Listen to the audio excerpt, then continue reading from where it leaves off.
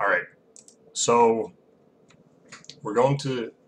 Oh, let me uh, share my screen here. So basically, the so the things I'm going to be sharing on the screen, you can watch the stream if you want. If you can't, that's okay. Everything I'm sharing, I posted in the um, the lecture, whatever channel. So it's everything here. So we're going to be starting with the gloss today. Uh, last week we talked about some context, so this week we're talking with we're starting with the actual gloss, and we're going to be going through the Jud Lew gloss, or simply uh, Lew, um, which is a branch of the uh, RDL KDF Kunstfechtens um, glosses of Lichtenauer's uh, Zettel. It's my favorite of the glosses, which is why we're going to be going through it, and in my opinion, the best. And we'll get to why later. Um, the differences don't really start, you know, manifesting themselves until later on in the techniques. The basic stuff is all pretty much the same. Okay, so I don't, I don't really want to go through the um, the first bit. I guess there's there's probably some good stuff in there. There's probably some like uh, philosophy in there somewhere, but it's unglossed, and I don't want to speculate too much. And I'm not like an expert on uh, you know how medieval people viewed uh, loving God and honoring women. So we'll just skip that for now. If anybody else has any uh, research on it, we can maybe do something another time. But let's start with the with the common lessons now, specifically the first one.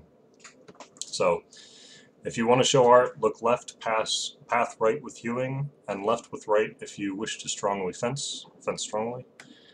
The first lesson of the longsword is that before all else you should learn to hew the hews correctly if you otherwise want to fence strongly, and hear it like this. When you stand with the left foot forward and hew from the right side, the hew is false and incorrect if the right side remains behind. Therefore, the hew will be too short and may not have its correct path to the correct side. Or if you stand with the right foot forward and hew from the left side, if you do not follow after the with the left foot, then the hew is again false. Therefore note, when you hew from the right side, you always follow after with the right foot, and also do the same when you hew from the left side, so that your body is in correct balance with it. In this way, hews will be hewn long and correct. So, to unpack that, um, so the basic interpretation that I go with for this is that it's mainly advice to uh, take a passing step when you hew. So if you stand with the left foot forward and cut from the right side, then the right side can't remain behind. So you need to take a step forward with the right foot. Um, so additional advice that's kind of um, hidden in here is the hew will be too short. So from that we can infer that we don't want to hew short, we want to hew, hew long, we want to have a good reach, so we probably want to extend the arms. And um, it may not have its correct path to uh, the correct side. So we want the hew, well, okay, so in, um, in Danzig it says the hew ends in front of your opposite foot, the path to the opposite foot. Um, this one, it's maybe not as explicit, but they want the hew to have the path all the way through down the front. And the third one is, or sorry, the fourth piece, of advice that's hidden in here is your body is in correct balance with it. So um, another thing that this step should do for us is keep us in correct balance so we probably shouldn't be, you know, leaning too far to one side or another when we, um, you know, after we finish. so that we can follow up with more attacks or move to a parry or do whatever we have to do. Um, so yeah, there's a lot of stuff that I'm kind of inserting here that's that's uh, my own inference. But yeah, that's that's the basic idea that I think it's trying to tell us. So um, let's unpack this passing step thing a little bit because at first glance it might seem simple, but when you actually try to apply it to fencing, it gets a little bit, um, it's a little bit less clear. It's a little bit more, um, you know, fuzzy. So the first thing I want to kind of start off with is what this is actually talking about, and it's a cut. We're doing a cut, um, and it's a cut that's meant, presumably, to um, attack the our opponent. So we're attacking our opponent with the cut, and the other thing I'm going to presume here is that we expect to hit them. And the reason I presume that, the reason I uh, am comfortable presuming that is because of um, the later, this later advice here that we get, hew near and what you want. So whenever you want to fence, perform it with the strength of your body and hew near to his head, so that he must parry. Um, so to me, what that's telling us is that we want to aim for the person and not the sword. So now what we're looking at is we're looking at a attack with a cut towards the opponent that is meant to, uh, you know, come in contact with them. So it's not a, a cut that's meant to provoke. It's not a beat or anything to the sword. It's a cut straight to the other person. And we're supposed to do that with a passing step. Um, yeah. So let's first talk. Okay, so right, the passing step. The main thing that I want to uh, say about the passing step is it's not it's not a goal. So the passing step is not a goal here. The passing step is a constraint. The goal is to hit our opponent and that's where we should start when we when we try to work this out. We should start with the goal, which is to um, hit the opponent. Um, but there's also another goal of a cut, which is to cut through an object. So our two goals, two two um, separate goals here with the cut: cut through an object and touch the opponent with the sword. So the problem here is that those two goals are in conflict. Um, so you can have, you can you can imagine a um, a spectrum, and on one end you have a cut that is purely optimized to cut through a target, and on the other end you have a cut that's purely optimized to uh, touch a person, to, to touch your opponent, uh, who's resisting you and trying not to get hit. You know, they're trying to parry you, they're trying to hit you themselves. Um, you want to you want to reach them with your sword. So an example here of cuts of, of optimal cuts to cut through. We have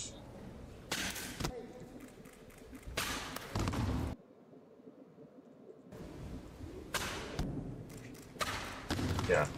So there's Warakiri Battosai cutting through seven tatami mats, which anybody who has cut before knows how difficult of a feat that is. Um, so one, so a couple things that we can notice about his cut. He starts from a uh, he starts from this very retracted position.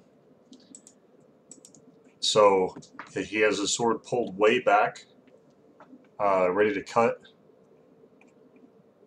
Um, one sec here. He, um, so he's creating a, a, very large cutting arc here with, with his sword because because of uh, how retracted it is. Um, obviously, he has to pay attention to his edge alignment. If his edge alignment is off by a little bit, it won't cut through. Um, he's not, well, let's see if we can stop it while he's cutting.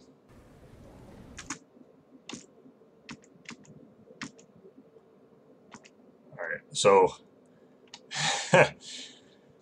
the uh, the frames aren't fast enough, but you can kind of see he's not cutting with the tip of the sword. He's cutting, you know, he's looking for the sweet spot, which is sometimes closer to the middle than to the tip. Um, he has to cut all the way through, obviously, instead of stopping at his target. He there's no um, explosive or uh, preparatory motion. He just walks directly up and cuts his target because he doesn't need to. It's not trying to parry him or anything. Um, yeah, and both of his feet are planted. I think he takes a little, he does a little hop beforehand, kind of, so he can, you know, drop all his weight down, but when he actually makes the cut, his feet are both planted on the ground. And he's using his entire body to, um, to, to perform the cut. Um, so on the other end of the spectrum, the, the touching end, the example that I use is saber fencing, modern saber.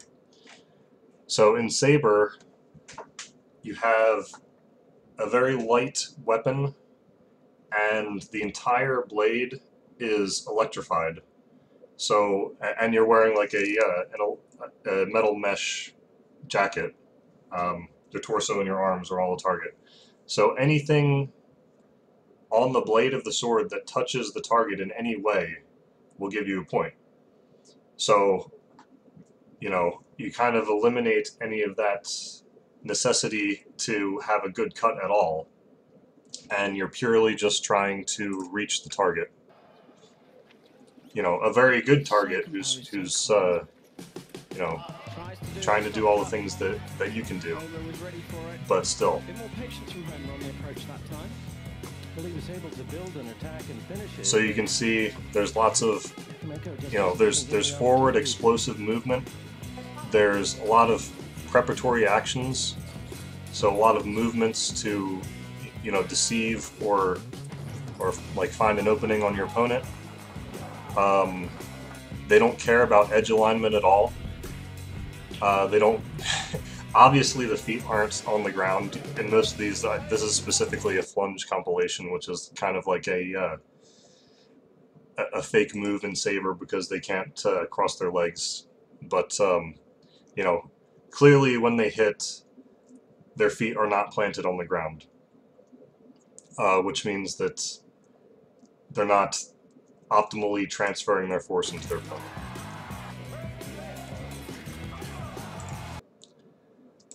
So you can see a big difference between these two uh, types of, of uh, attacks slash cuts. And uh, I guess kind of the, the conflict that we have to resolve. So we as as uh, longsword fencers, we kind of have to find where on that spectrum we want to land with our with what we do. And you know, I kind of think in my opinion, it should uh, it should land somewhere in the middle. I think that we should have some arc with our cut. We should cut with the edge and not the flat. Um, but at the same time, I don't think we need to, you know, walk ha like have both feet planted and transfer all of our force into the into the cut and you know make it ha have like a perfect you know, um, cutting mechanics cut every time. I think there's a little bit of comprom compromise to be made there. So, um, you can, uh, so th there's a little bit of uh, background on on what like the goals of the the uh, of our cutting attack should be.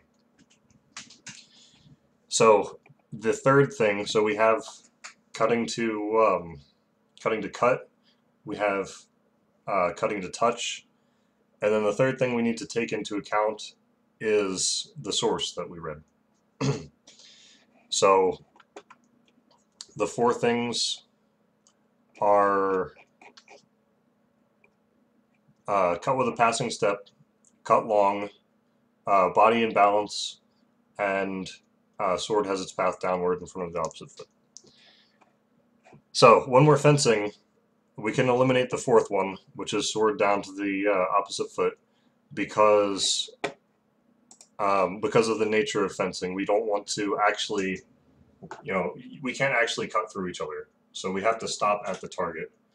Um, and if we don't want to hurt the person, then we won't try to cut through anyway. We'll just try to cut to the target. So that one we kind of can, you know, give it a pass. Say, you know, if we assume that we were, we assume that if we were fencing with sharps, then we would continue down to the ground. But we can kind of just hand wave that one. Um, body and correct balance, so that's something that we're going to have to remember when we get to the ending point of the cut. Um, hewing long and correct. Um, so long is is kind of a, uh, we're kind of lucky there because in both of the uh, on both ends of the spectrum, whether you're cutting to cut or you're cutting to uh, touch your opponent, extending your arms out is an important aspect of both of those because you want to extend to reach and when you're cutting you want to um, extend as much as possible so you have maximum tip velocity on your sword. So good. We can conclude that whatever cut we do, it should probably be extended. It should probably be in an extended position. Um, and the final one is hew with a passing step. And this is where things get complicated. Um, so, let's see, cutting, ideal attacking, about passing steps. Okay, so I have this little anatomy of the passing step um, thing that I made a while ago, and this is not this is a little bit outdated, but I didn't uh, I didn't want to change it too much. So when we're doing a passing step, the one thing that or the first thing that we have to remember about doing a passing step is that they take a long time. So from the start of your step, when you push off with either your back foot or your front foot, to the time your foot lands is generally longer it's a it's a longer period of time than it takes for your opponent to be able to react to whatever you're doing and parry your cut. Um, and that amount of time, uh, we've so me and me and some people from the HEMA Discord have been doing some experiments with um, timing cuts and stuff and and timing attacks, and we've come to um, a somewhat arbitrary but but uh, kind of realistic number of uh, 350 milliseconds for an attack. So um, using this ben using this benchmark, any attack that comes in before 350 milliseconds has a chance of hitting. Anything coming in above that um, will probably be parried um, because of the uh, you know human reaction time. Um, and you know it'll vary. It'll vary uh, based on the person. It'll vary based on like who's hitting and uh, who's receiving, and all that good stuff. But as a general benchmark, we're going to use uh, 350 milliseconds. So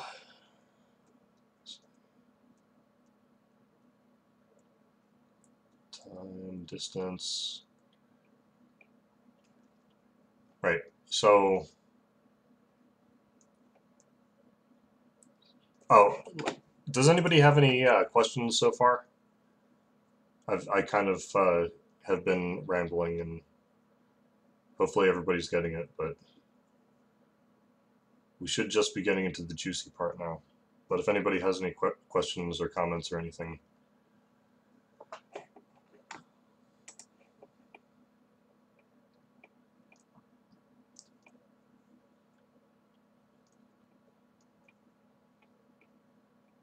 Okay, so we'll talk about the phases of the step here, first of all.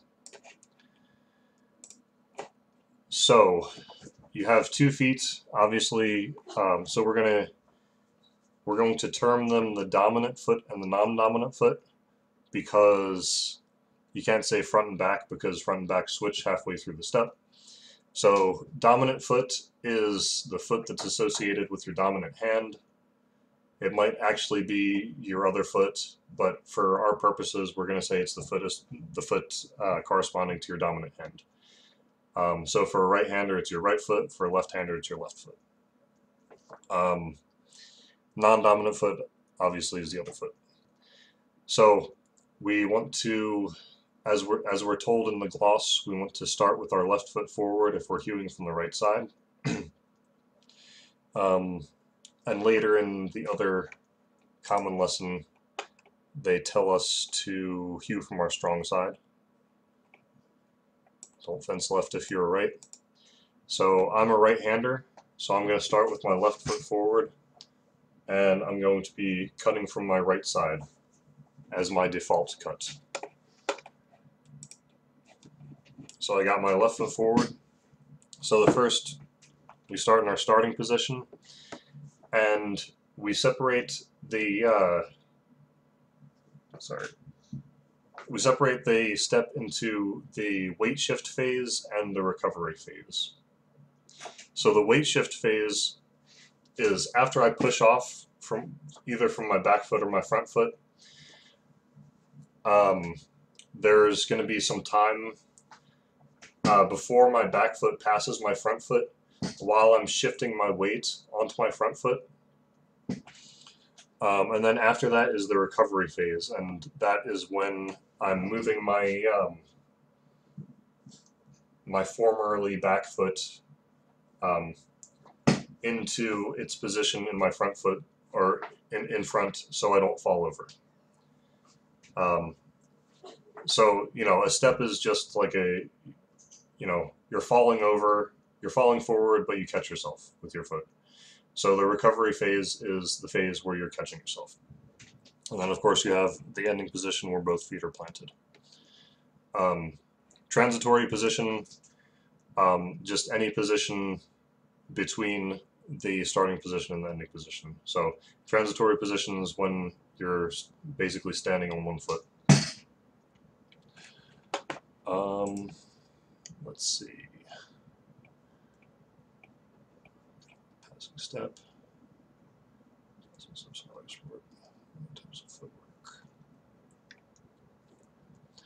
Right, so let's talk about this. So you can you can power the step either with your back foot or your front foot. Um, and how you do either of those um, kind of depends on your initial stance. So I have So we have what I call the upright posture and the um, the sprinter's posture. So the upright posture is, you know, obviously upright. Um, your back is straight. Your uh, your your front knee is generally over your uh, your front heel.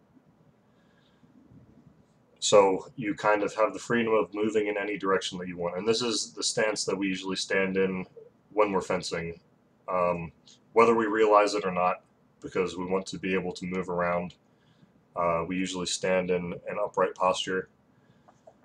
Um, the other one is, I'll, I'll call the sprinter's posture, which gets its name from the, uh, you know, here's an example of the 40 yard dash uh, three-point start posture. So you can see the front knee is well forward of the of the uh, front toes. Both heels are raised, raised off the ground. Um, here you can see two uh, fencers in that posture. This is kind of more, the right is kind of a more extreme version than the left. Um, and what this do, does is it allows you to, um, you're, you're kind of already committed forward so it allows you to explosively jump off of uh, both of the legs, so including the front leg. Um, if you're in an upright posture, it's uh, because your weight is kind of in the middle over both legs, you can't really push off of the, or you can't, um, the, the front foot can't be involved in the initial explosive movement of the cut, um, of this step. So if you're in the sprinter's posture, it can be. Obviously the trade-off is if you're in the sprinter's posture, you're already committed forward. So you don't have very much freedom of movement. So that's why we don't really uh, stand in this position when we're when we're fencing. Even though it would it would uh, shave a little bit, it does shave a little bit of time off of the cut uh, because you don't have to. You you have less. Uh, your your your body has less of a job to do to to move your, you forward. So where do we go from here? Okay, I want to talk about timing.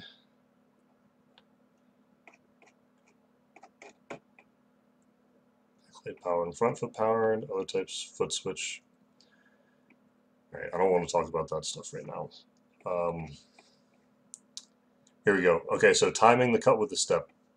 So we see these these phases here of the step so when do we add our cut into the step? Well, you can add it really in any of these, in, in any time during this, uh, this process, you can do the cut, cut. So you can throw it during the weight shift phase, you can throw it before the weight shift phase, you can throw it during the recovery phase, or you can throw it after you're already in your ending position. And each one of those uh, types of timings has its own advantages and disadvantages. Um, the one that I want to focus on the most, however, is um, during the weight shift phase. Um, actually, I, have a uh, right. So here's um, Dustin Reagan demonstrating different timings or different ways that you can time a cut with a uh, with a step here. So let me start that over. So before concordant as you land, after your foot lands, and then adding a uh, preparation step to it.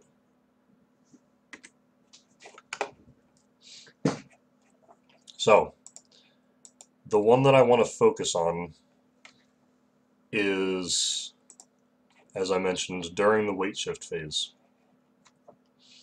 Um, if you do it before the weight shift phase, you're kind of just hitting without taking a step at all. Um, you need to be in kind of close distance, but it's good for if you're doing a counterattack, like if your opponent is closing distance for you and you just, you know, hit without taking any, any step at all, or for like hand sniping and stuff. But during the weight shift phase is really where the, uh, the cool stuff happens. So getting back to the ability to uh, touch our opponent with our sword, to, to reach our opponent, and that uh, 350 millisecond benchmark that I mentioned. Um, in order to stay below that uh, that benchmark, the cut really has to take place in this time because the full step from from the foot leaving the ground to the foot landing, it's just too much time. So the, the cut needs to take place in here. Um, so the, the consequence of that is you can't use the full distance of the passing step. So you, you kind of, um, you know, if, if you're thinking about a passing step, one of the advantages you might be uh, considering for it is that it covers a lot of distance, which is true. It covers more distance than a lunge because uh, when you're lunging, your you know your rear foot is is the limiting factor because you're you're planting your rear foot. When you're doing a uh, passing step, your front foot is the limiting factor because you're pivoting on the front foot. Um, so you do cover a lot more distance with a passing step, but you can't use all that distance to, um, you know, as as reach for your cut because it'll be too slow. It'll just get parried every time. And this is why I've been teaching you guys wrong for the past several years because I uh, I've always taught it as landing the cut and you know the the um, the the cut lands as your foot lands. And it's you know sometimes maybe you can make that work but by and large you need to land the cut before your front foot lands. So while you're while you're sorry yeah your non-dominant foot no your dominant foot right the one that was in back you need to land the cut before that lands um, so, how do we accomplish that? Um, well, let's see some videos. So here's um, Anton Kohutovic way back in uh, 2013 with his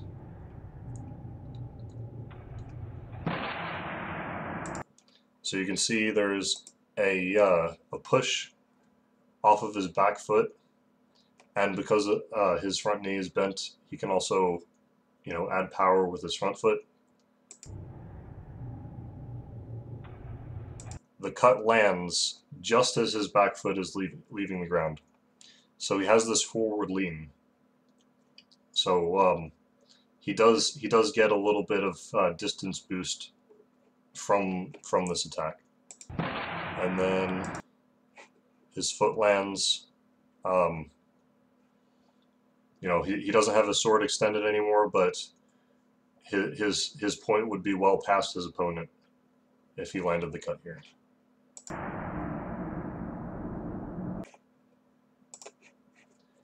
Um,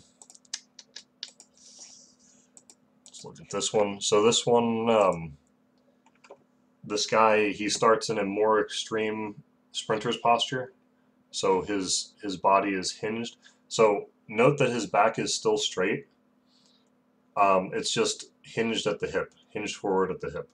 So he's not he's not hunching over. He's not um, he's not breaking his posture.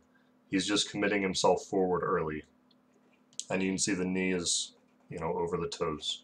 So he can really use both of his legs in his uh, to gain power with the step. So here if YouTube works. So you can see, um, luckily he's wearing shorts, so you can see both of his um, calf muscles are engaged here. So he's pushing off with both feet. And as a uh, kind of a consequence of uh, the fact that his upper body is already so forward engaged, he doesn't need to take that extra leaning forward with the cut. Um, so his uh, his back foot kind of makes it further with the cut than Anton's does. So remember Anton's when he was making contact, his foot was just leaving the ground. But with him, his foot is already almost past the front foot. And that's because his upper body was already engaged. And you can also see that his total step is a little bit further so, um, you know, in order to recover and regain his posture, he needs to really kick out with this back foot when he recovers. So we can see a couple other ones. So he's stepping, you know, look how look how close his his foot is to to the target now. He's basically, um, you know, in either slicing or grappling range already.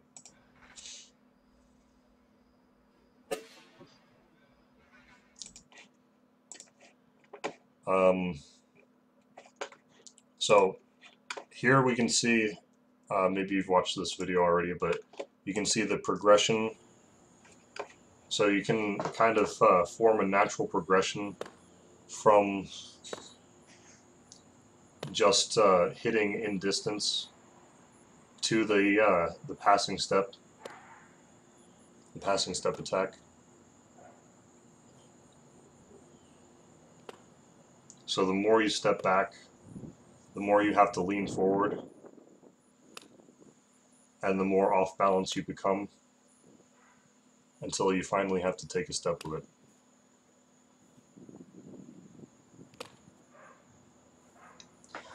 So the important thing to note about this step is that um, earlier we talked about goals and how uh, doing a passing step is not a goal but a constraint.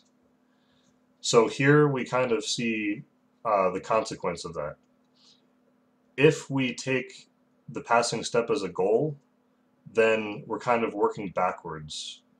Um, we have a solution in search of a problem.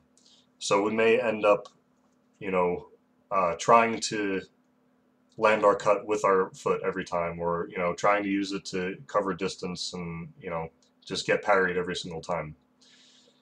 But if you, you know, go, if you, um, if you go more goal oriented, and um, you know, have the have the cut or have the step as a constraint. Now the step is happening um, in service of of your attack. So I'm not I'm not consciously like uh, you know when I attack I'm not I'm not consciously saying like okay I'm gonna do a passing step here. I'm just trying to get my sword to my to its target uh, by moving my upper body forward. And as a consequence of that, I have to take a step.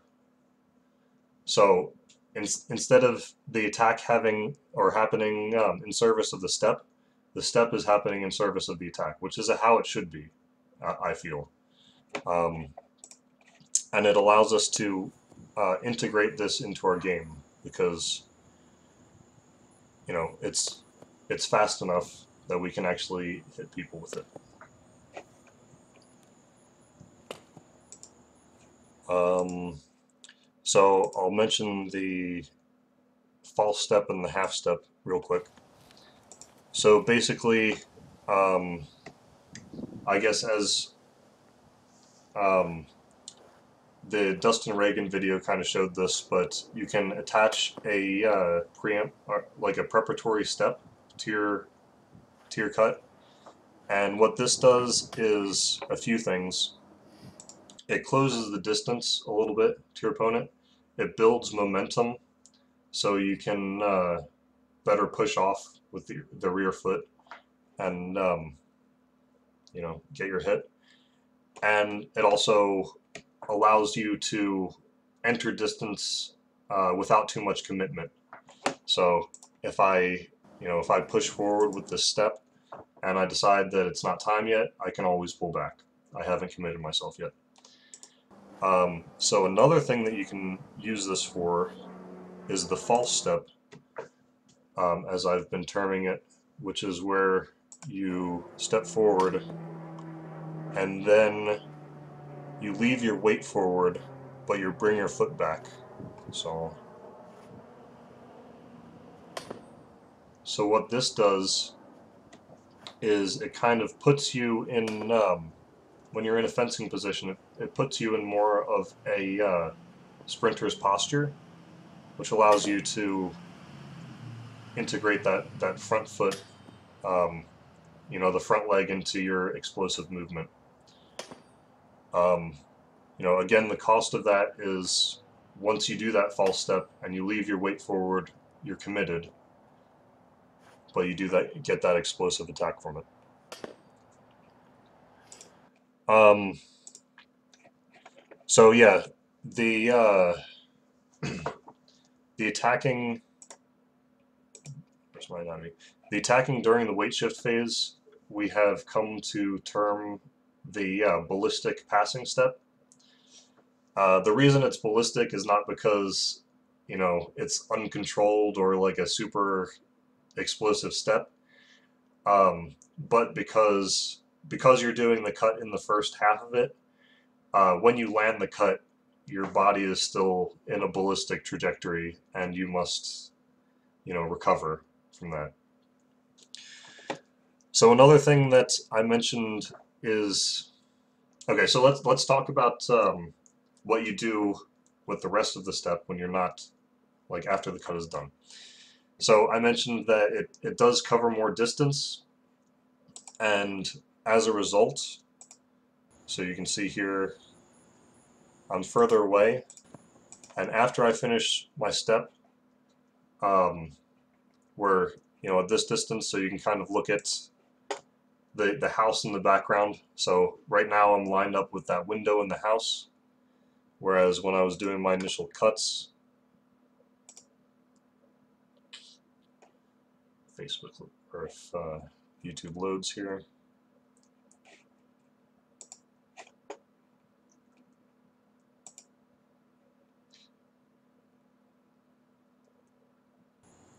Right. So you see when I'm when I'm uh, reaching at maximum extension, there's the window I was lined up with before.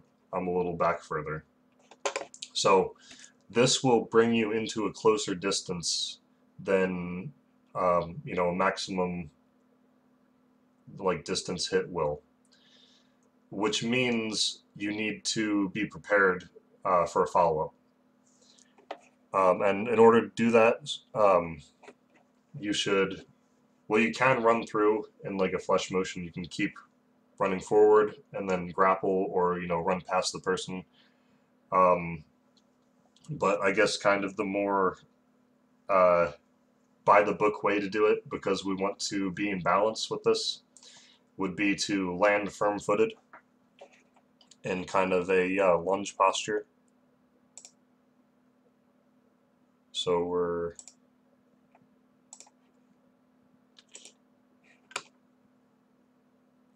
Yeah. So in more of a lunge posture, and um, you can kind of straighten out your back. And what you can do is, um, after you've made the hit, as you're recovering with your with your uh, uh, dominant foot moving forward, use that time to prepare your next action. So what you can do is you know, maybe your attack gets parried and your opponent likes to riposte. So you can use that motion to uh, prepare a parry, to uh, parry their riposte. Or you can use that time to uh, feel what your opponent's doing, which is the more, you know, the more uh, KDF way to do it. So like Fühlen and Dusk, we want to feel and uh, choose the best action. So while you're uh, while you're landing, if you assess if you've been parried. If you have, then start to make the decision of what to do next.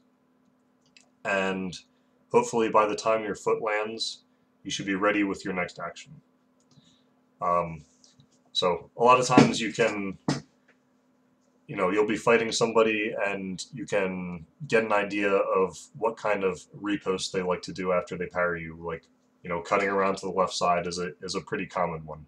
So something I'll do uh, pretty often is do my ballistic cut. Um, as soon as I realize it's been parried, I'll go into my block.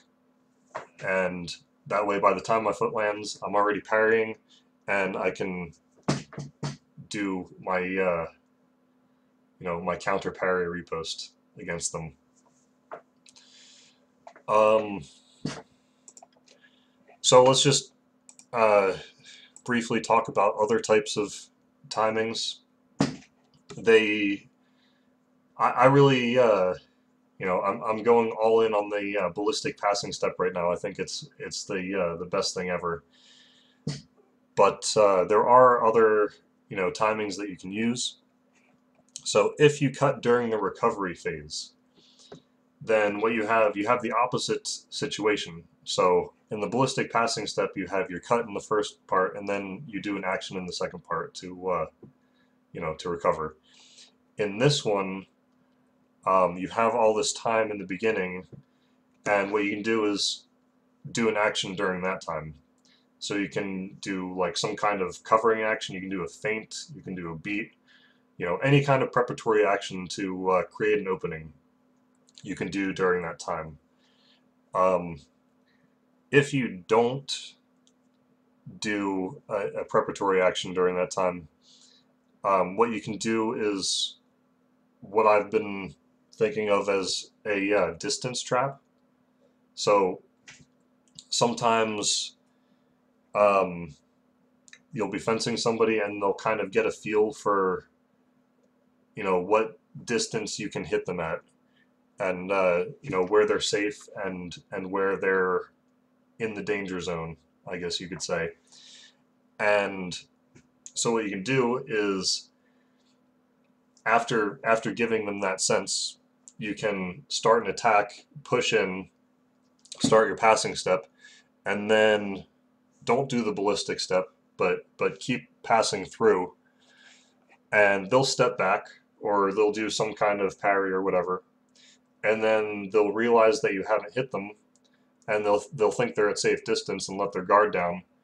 But you just you know maybe uh, kick a little bit extra with your with your um, left foot and get a little bit more distance and hit them as as your foot lands. And you'll you know you'll catch up to them even though they thought that they're out of distance. So that's I call that the distance trap um, so yeah that's uh, that's pretty much my uh, my spiel on the um, the ballistic passing step and cutting with a passing step in general so it's uh, something that seems simple on the surface, but once you actually start to try to apply it, it gets a little bit more complicated. Um, so the main the main uh, takeaway here should be um, when when you're looking for how to do something or the uses of an action, start with the goal that you're trying to accomplish and work from there rather than uh, starting with a solution in search of a problem.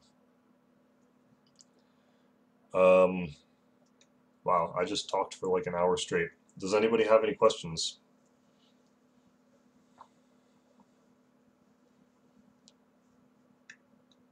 None at the moment.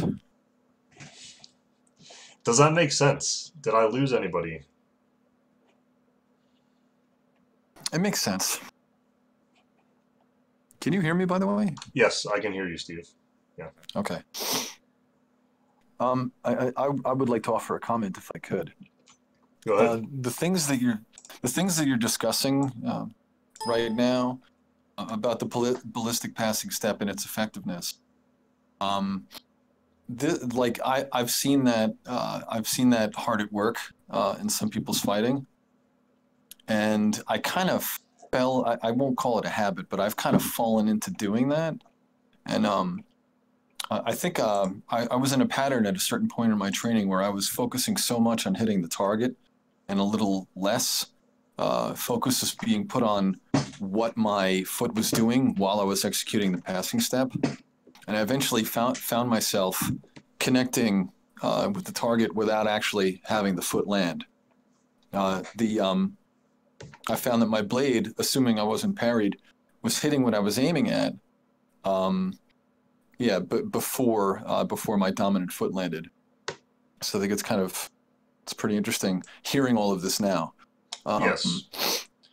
Also, um, I find that if you uh, uh, if you use the ballistic passing step, at least this has been the case with me anyway. If I use it and um, I'm parried, it kind of takes a little, um, uh, a slight bit of extra time to kind of like ready myself for the next action. Uh, it seems that um, I don't know if I'm doing this right, but when I when I execute uh, a ballistic passing step, it's I am fully committed.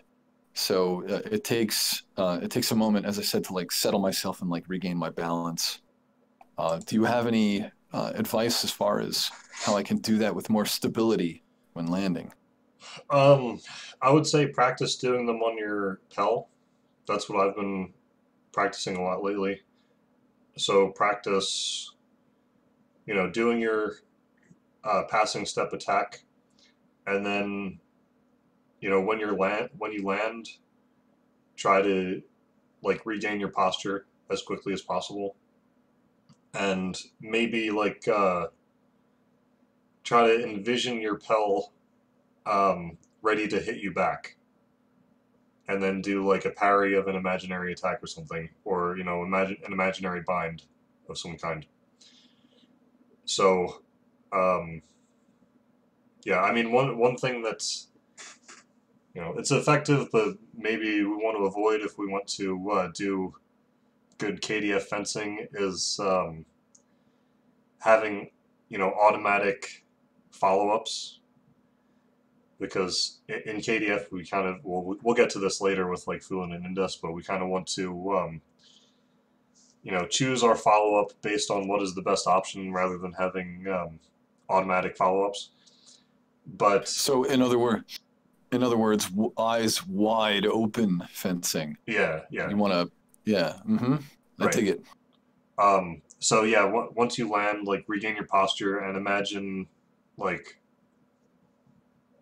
imagine just do- doing like the next motion and like vary vary the motions and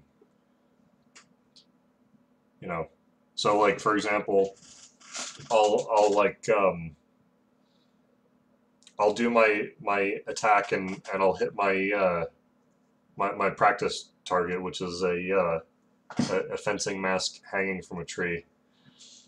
Um, I'll hit the mask and then I'll like pull back just a little bit, so like hit and then you know gain good posture, and then move to like whatever parry or like practice doing like your Mutieren or Duplieren or whatever. Um, so and if you can like if you can do your follow up and like vary it, then you, you should have a good sense that you're keeping, um, you know, you're landing in good balance. Does that make sense? Yeah, it does, and uh, um, that's that's one thing I would like to do. Um, is uh, sort of like keep my uh, keep my back straight and um, pull my hands back in just a bit, so I'm ready for what comes next. I feel Yeah. like uh, if if um, if I execute a cut using that step uh, and it gets parried, I do want to you know I do want to sort of um, get out of that fully extended position Yeah. so I could be ready for a cut that comes at you know um, my uh, you know my head or um, uh, some other part of my body that I could more easily defend if I'm not you know if I don't have my hands um, Yeah. fully uh, fully reached out. Right. I've, I've been kind of uh, trying to come up with a name for it. Um, you know, after you hit, you can, you know, obviously when you hit, your arms are fully extended. And then once you land, what I do is like bend my hands, bend my elbows a little bit, and bring my tip up a little bit. So my sword's kind of at like a 45 degree or like a 60 degree angle or so. And I kind of So consider it's that. kind of like a, a defense.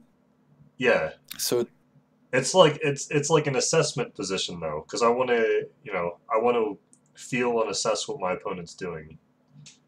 Um, but uh, yeah, and I mean from there it's pretty easy to parry in any direction if you have to, um, or you can do a blade action. But you're just taking Hmm. like a, a half of a beat to assess what's going on. I want to actually address the first thing you said, which is that you found yourself um, doing these types of steps um, on your own. And I want to say that a lot of people do do them. Um, anybody who actually, well, okay, so if you look at tournament footage, attacking with a passing step, um, unless it's like a flèche with like starting with dominant foot forward, um, attacking with a passing step like we're talking about is very rare. Uh, people don't do it very often. But when they do, it's a ballistic step. Um, so nobody really, like as far as I know, nobody really teaches these. But if they do passing step attacks, they do the this type of attack. Um, the, because either they, they figured it out themselves or, you know, whatever the reason may be, or they, you know, they think they're doing one thing but they're doing another. And I mean, like, I use myself as an example because, like, you know, anybody who's been to our class knows how, like, I teach the passing step attack or have his, historically taught it. I've always taught it with, like, you know, hitting and landing the foot at the same time. But, you know, I look at old, you know, sparring footage of myself and, like, tournament footage, and I was using ballistic passing steps but you know, I didn't have, I didn't know, like I didn't understand them. I didn't understand how to categorize them or like what the difference was or what I was doing. So, um, I think somebody, John asked a question. Um, the passing step, do you make it as linear as possible? Um, so well, I mean, everything has to be like once you're committed to a direction, you're going in that direction. Um, you know, for the for the basic attack, what I have in mind is a is a straight, moving straight forward attack. But you can do these in different directions. You can spring to like a diagonal or a side or something. Um, I'm usually like when you're when you're making an attack, my default position is you should probably go straight in because that's gives you the maximum reach. You lose a lot of distance. Like for when when you're um, when you're stepping offline or stepping to the side, you like I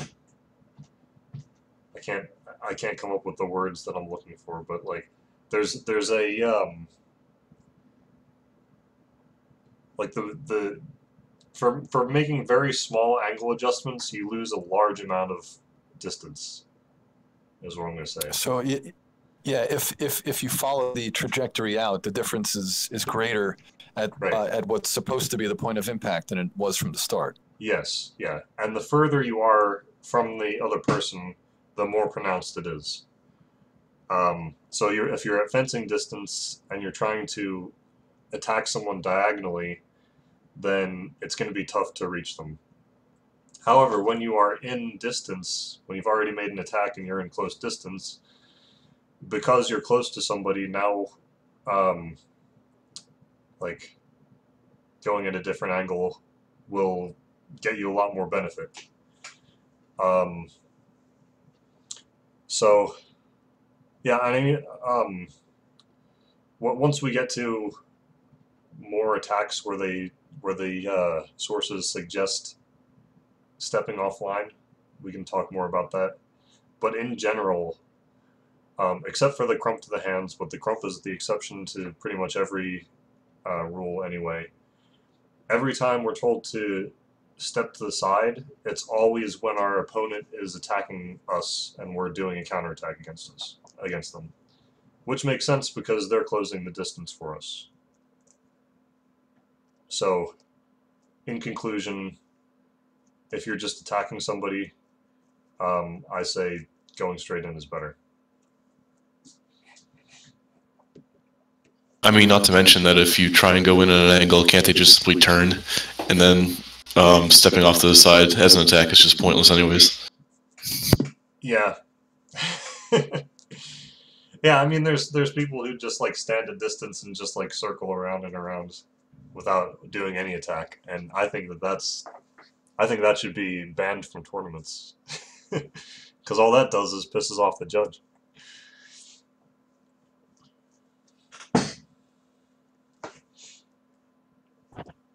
Can I say something about uh, practicing the a ballistic step? Mm-hmm. So I actually think there's value in um, like when you practice it, removing the sword from the equation and just doing the step, because that can help you um, like focus on the landing, and um, so that that can be beneficial for when you're using the sword and you're trying to recover faster. So if you isolate um, and just do the foot movement, uh, you can really just focus on that.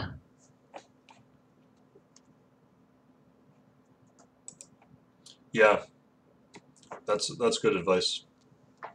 I've been thinking of other possible advice to give people trying these for the first time. Um, Adrian said that he would rather have people um, run through than land firm-footed when they're first learning them because it could be hard on your knee to to land that hard. Um, so that's another thing to keep in mind. One thing I kind of had in mind, and I haven't I haven't had the chance to um, test this on anybody who's learning it yet, but I was practicing it myself. Is just have either I mean you can have your sword or not, and just extend it out fully in front of you, and kind of act like it's pulling you straight forward. So you're you have to lean and lean and lean and until you can't lean anymore, and then you have to catch yourself with your other foot. So maybe That's that's how I've that's how how I've always pictured this being performed. Yeah.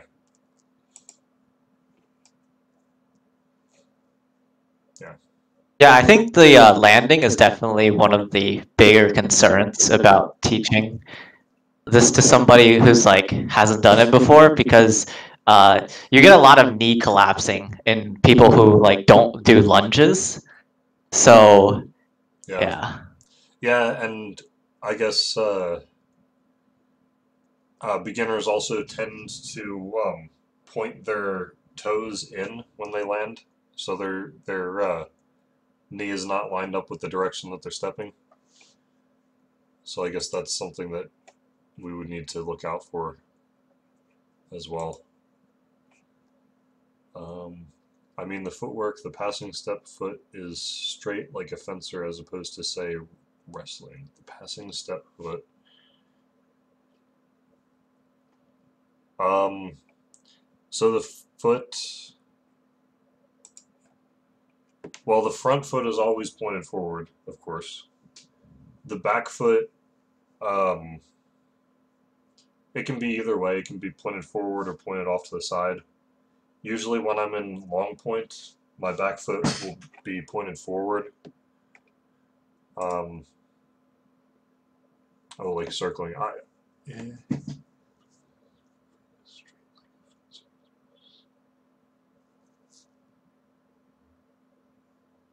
I, I'm sorry, John. I don't really know what you're asking.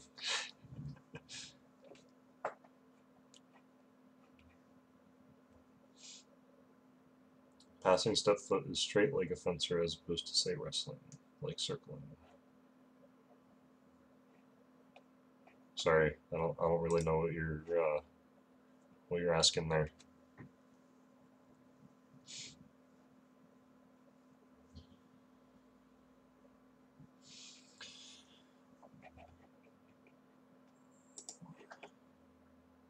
Okay. So, yeah. Um, in conclusion, I think we should see more people. Um, I would like to see more people um, attacking with passing steps in, in the future, and especially people who claim to do KDF. People who claim to do KDF shouldn't be fencing right foot forward. So that's the that's the um, the first step really into integrating passing steps into your game is to um, get in the habit of fencing non-dominant foot forward. Because if you're fencing dominant foot forward, then you, there's just no like, there's no chance that you're going to be doing passing steps, except for flèches. If you if you fence right uh, dominant foot forward, you are you know you're on your way to epee with Zwerchhaus,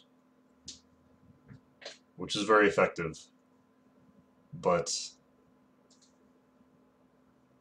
I want to see people fencing by the book. And fencing effectively by the book. Use these. See, that's the that, that's the real beauty of the ballistic passing step. Is because it's historical and it works. So you can you can fence by the book and still win matches. Isn't that crazy? It's glorious.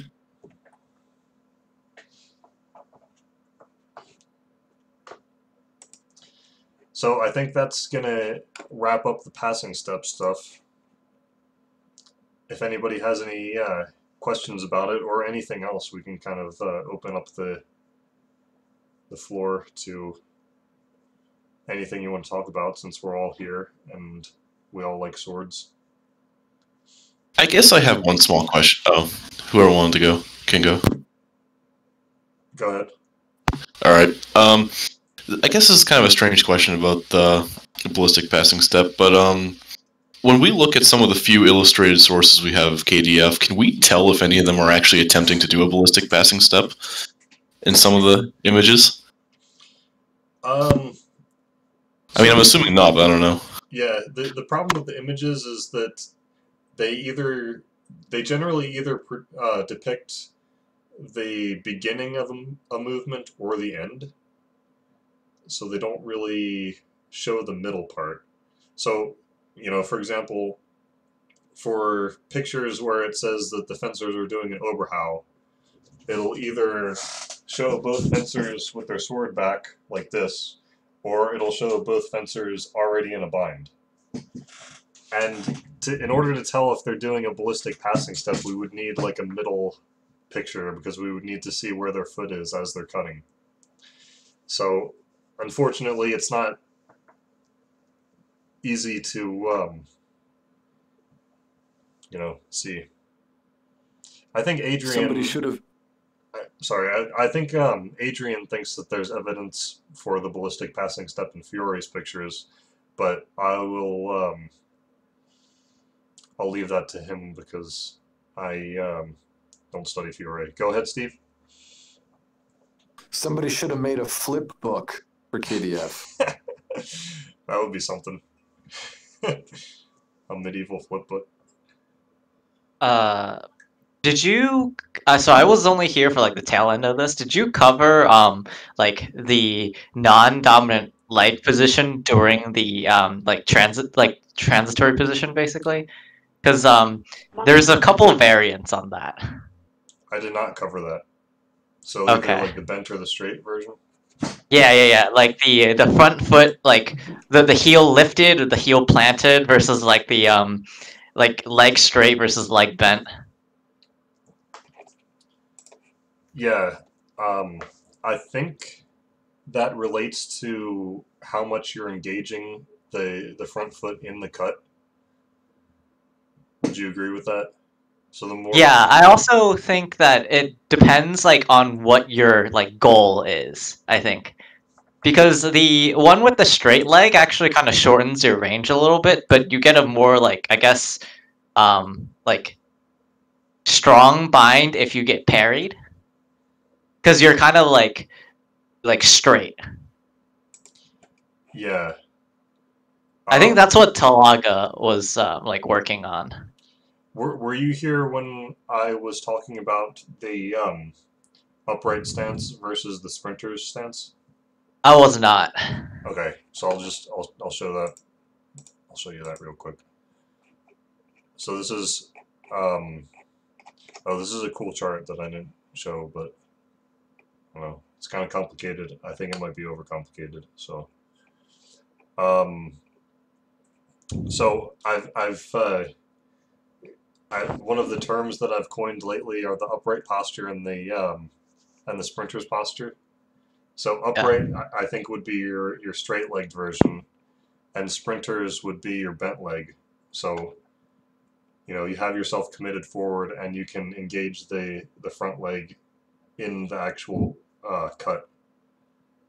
Whereas in upright, you have to either pass through sprinters in order to engage the front leg, or you just um, you mainly engage the back leg in the cut. Is- Yeah, does that, that that makes sense. Okay, cool. Yeah, I like that. Um, I think you in particular, um, you're kind of when you do the ballistic passing step, you're actually you're not as like bent or like um, Mhm. like uh, ball loaded as like Anton is, but you're not like um completely planted like uh Talaga is. So there's like a big like spectrum that you can be on. Honestly, just like whatever feels good. Yeah, I usually when I do it, um, and a lot of it's not conscious, but based on the the video of myself that I've watched, um, I, you know, obviously I start from an upright posture, and I usually do it with a half step, um, with a half step preparation. So, I would expect most of uh, most of the the uh, or I'm mostly driving from my back foot when I do it. Is what I'm trying to say.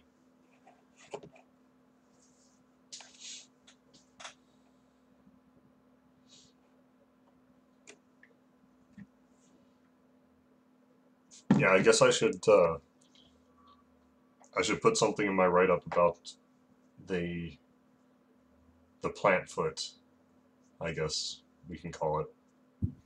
Yeah, I, I think it's like not particularly important, but it's like there's differences depending on how you do it in your step Right. with like range and structure. Yeah. And also how easy it is to recover. If you do it with a straight leg, it's a lot easier to recover. But it's also a lot shorter. Yeah, but if you're hitting in the ballistic, you know, if you're if you're hitting in the ballistic timing, then it doesn't. Uh, well, I guess it still matters. It matters. Yeah, because your body's more forward if your body if your leg is bent. Right. Yeah. Yeah. Cool. So, how much snow did you guys get? Probably the same as me, because we all live in basically the same area. I haven't been brave enough to look out the window yet. It's still snowing where I am, and there's got to be. There's probably around four or five inches on the ground. Yeah, four or five inches roughly. Nice. Might go practice my ballistic passing steps tomorrow in the snow. In the snow. Yeah. Terrain passing step. Yes. Yeah, so this Uh, is when, when we start up class again, this is what we're going to be teaching. This is how we're going to be doing it. Yo, if you do judo, you should totally do um break falls in the snow. It's great. Oh, yeah. I haven't been able to do break falls at all because everything's so hard. But then I went to the snow. It was great. Nice. Oh, yeah, I never thought about doing that. It's better than the crash pad. Ooh, that's a, that's a, um, a big claim. I'm afraid of my, uh, my backyard, though. It's so uneven. I don't want to, like, land on a frozen spike in my ground. Oh,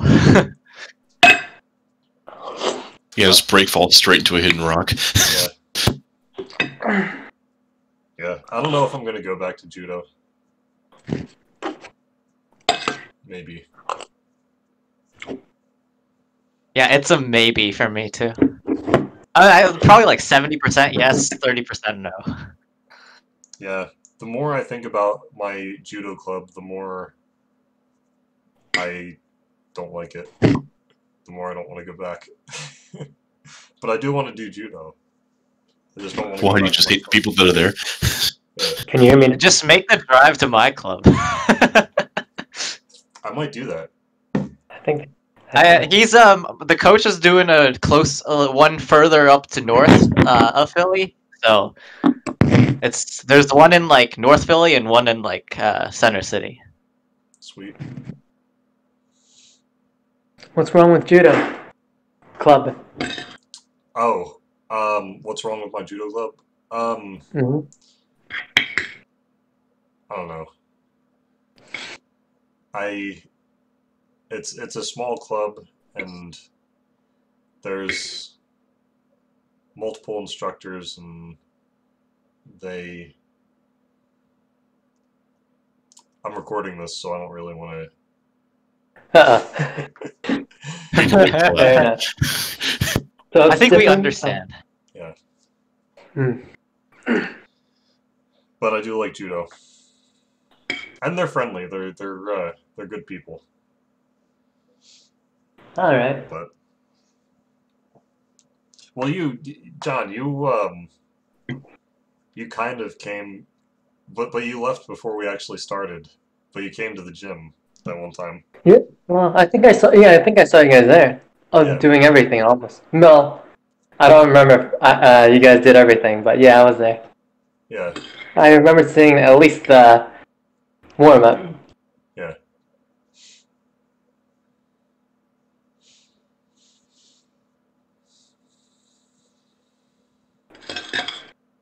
Cool.